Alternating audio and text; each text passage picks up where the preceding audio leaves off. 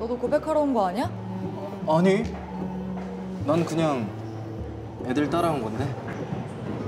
쟤들 좀 이상한 애들이긴 한데 그냥 이상한 애들이야. 아니야.